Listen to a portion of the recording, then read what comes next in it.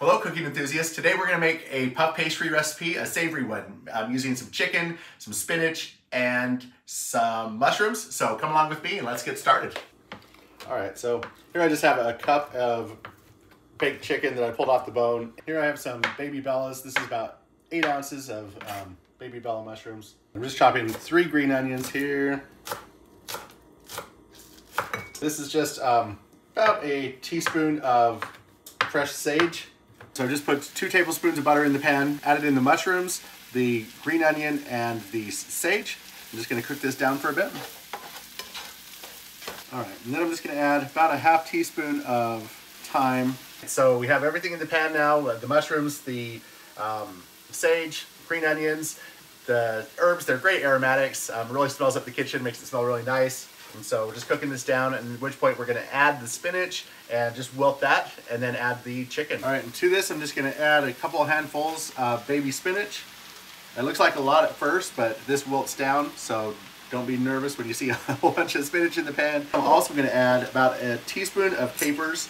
I love the taste of capers, and they add a little bit of brininess to the dish and make it taste really good and also just about a half teaspoon of better than bouillon. This is just the vegetable, the vegetable base. All right, so I've added about a cup of chicken um, to the spinach. It's now wilted. And to this, I'm just gonna add about a tablespoon of Greek yogurt. You know, again, you don't want much liquid in this because this is gonna bake in the puff pastry and you don't want your pastry to be soggy. I also added another tablespoon of yogurt, so there's two tablespoons of yogurt total. And that is the filling. So that's everything that's in there. Um, it's gonna go into the filling. This is a great time to try and test it uh, or taste it. You always want to taste as you're going. Um, that way you know if you need to adjust anything. Truly, you could just put your filling in the middle without doing what I'm going to do here, but I'm going to just cut this in slices so that I can kind of braid it over the top. Uh, of course, you're only doing it up to the part where you're going to put the filling in. All right, and to this filling, um, I did add three cloves of garlic that I crushed, and I cooked it for another minute. Now we're just going to be setting it here in the middle.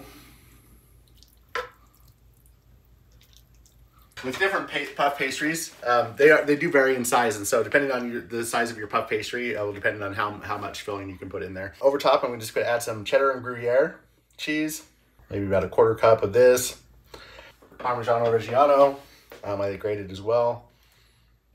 Now we're just going to fold this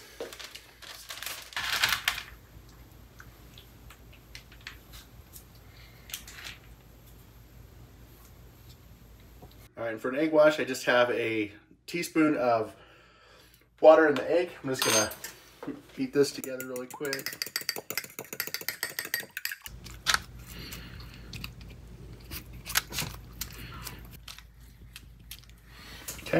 Now it's ready for the oven. All right, we have the finished product here, so now it's just ready to go in the oven. Um, again, 25 to 30 minutes at 425. All right, so it should be done. Let's go ahead and pull this out of the oven.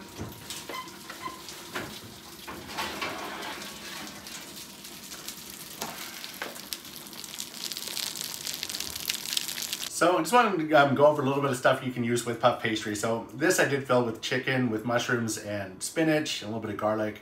Um, however, you can do all sorts of toppings. So like, I mean, you could do ground beef or, or steak um, with potatoes or um, um, things like chicken and asparagus, like really whatever type of vegetables or meat you like, you could fill these with. Um, they're very versatile though. Experiment with all sorts of different things until you find something that you like.